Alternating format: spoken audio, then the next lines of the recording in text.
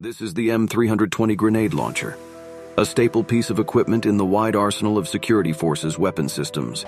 Considered to be a force multiplier, this weapon is employed across the enterprise of over 38,000 personnel. A basic loadout for a defender consists of 22 pounds of armor and gear, to include an additional 10.5 pounds for an M4 and ammunition. The M320 launcher and 18 grenades, also referred to as eggs, weigh in at about 13 pounds bringing the total loadout on the Defender to an astonishing 45.5 pounds of gear. This can raise issues for defenders. Their current grenade carrying configuration is cumbersome and not suited for all body types. Defenders carrying it are often at a disadvantage during exercises and real world scenarios, forcing their entire team to slow down when speed and efficiency is needed most. The 31st Security Forces Squadron Weapons and Tactics Shop have an answer. Utilizing 3D printers and clever design methods, the Adaptive Rapid Reload Kit, or ARC, is a solution compatible with pre existing issued equipment.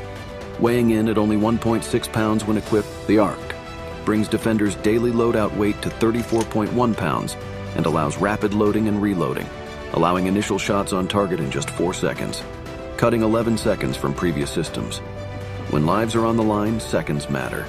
ARC allows defenders to not only get to the fight faster, but to fight more effectively. Hi, I'm Senior Airman Bolton with the 31st Security Forces Weapons and Tactics Shop. Our goal of our team is to strive to improve tactics, techniques, and procedures for the Security Forces enterprise. Here we have the Adaptive Rapid Reload Kit, or ARC, and it is already in the test phase by 31st Fighter Wing Defenders. But the job is not done yet.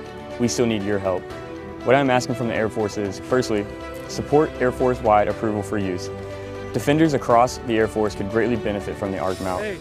We need your help to assist with getting this out to other units by supporting additional testing needed to get into this fight now. Secondly, support scaling. First phase of scaling would be for initial funding to equip the 18 USAFE installations utilizing the M320 grenade launcher. This will be completed through local 3D printing manufacturer by 31st Fighter Wing Wyvern Spark Innovation Lab for approximately $9 in material cost per mount. Second phase will be to share the 3D print file to key locations with carbon fiber nylon printing capability to fit defenders across the Air Force. ARC could potentially be distributed Air Force wide within a month, allowing all defenders utilizing an M320 weapon system to be more efficient.